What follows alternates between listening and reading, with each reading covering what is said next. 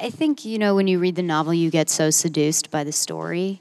And I spent so much time reading the book and then rereading the book and then rereading the book and then rereading the script. And you become so entangled in who she could be and who she is. And it was really, you know, Mary who kind of proposed this idea of, of not really playing into one one idea of her for the entire show, which was you know a really a really kind of brilliant tool for us to work with because as an actor you can't really just constantly be hanging in a state of ambiguity.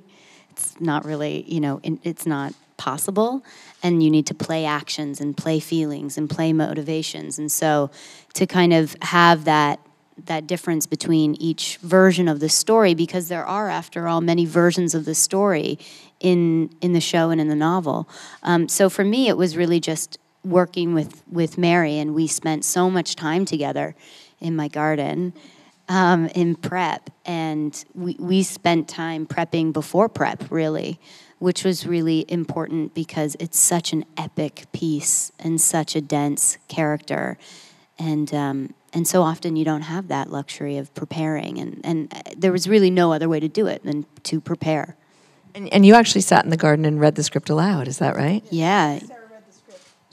Yeah. Um, Kara, I, I sometimes just call Mary at night now and read to her, just to you know put her to bed because she misses me.